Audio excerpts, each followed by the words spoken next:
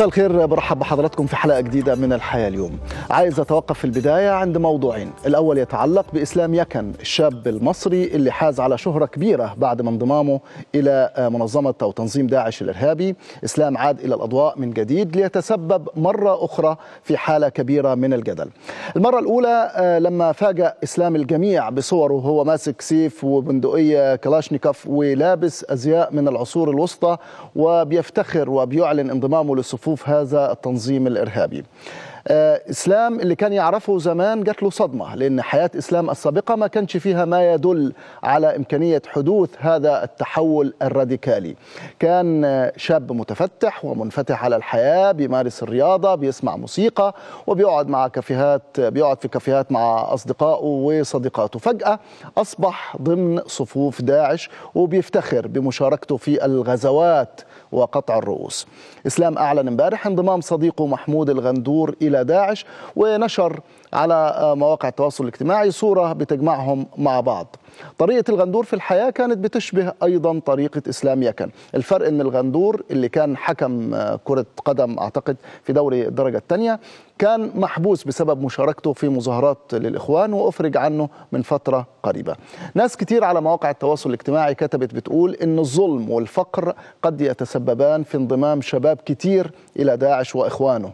لكن في المقابل ناس أخرى بتقول أن لا العدل ولا الحياة المرفهة تقدر تمنع شباب من اختيار طريق الإرهاب وإن أسامة بن لادن على سبيل المثال كان مليونير وكان عايش حياته بالطول وبالعرض وما كانش حد يصدق إنه في يوم من الأيام هيصبح زعيم لأكبر تنظيم إرهابي في العالم.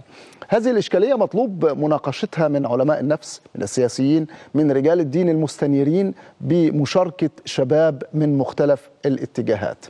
الموضوع الثاني يعني من حوالي ساعة تقريبا تلقيت اتصال من المهندس إبراهيم محلب رئيس الوزراء. كان بيتكلم عن اجتماعه اللي عمله أول امبارح في ساعة متأخرة من الليل مع المتحدثين الرسميين لكل وزارة من وزارات الحكومة.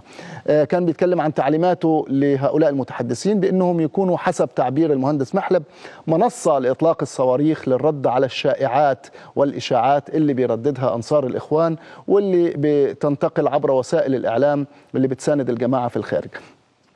طبعا المهندس محلب كان عمل معنا اجتماع الأسبوع الماضي مع مجموعة من الإعلاميين. تشرفت إني أحضره وكان اجتماع صريح. يعني اتكلمنا فيه مع المهندس محلب عن مشكلة التواصل مع مؤسسات الحكومة مع الوزارات مع الهيئات المختلفة. ووعدنا يومها رئيس الوزراء بإنه يكون كل المتحدثين باسم الوزارات جاهزين بالمعلومات بالبيانات المطلوبة من الإعلام والصحافة. بمناسبة الإشاعات المهندس محلب في اتصاله التليفوني كان بيقول لي تخيل بعض مواقع الإخوان نشرت بتقول إن الحكومة هتعمل عملات نقود ورقية ونقدية ومعدنية عليها صور الرئيس عبد الفتاح السيسي. معقولة خيالهم يوصل للدرجة دي؟ طبعا رئيس الحكومة بيستغرب وطبعا أنا متفهم شعوره.